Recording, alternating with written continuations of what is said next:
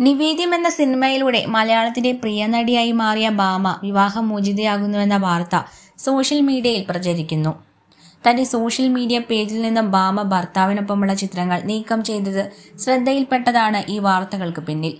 അതിന് പിന്നാലെ social media പേജിന്റെ പേര് ഭാമ എന്ന് മാത്രമാക്കി മാറ്റുകയും ചെയ്തു. ഇതോടെ ഇനി മകൾ മാത്രമെന്ന തീരുമാനത്തിലേക്കോ ബാമ എന്ന സംശയത്തിലായി ആരാധകർ. ബിസിനസ്സുകാരനായ അരുണാണ് ബാമയെ വിവാഹം ചെയ്തത്. രണ്ടായിരത്തി ഇരുപതിലായിരുന്നു ഇവരുടെ വിവാഹം.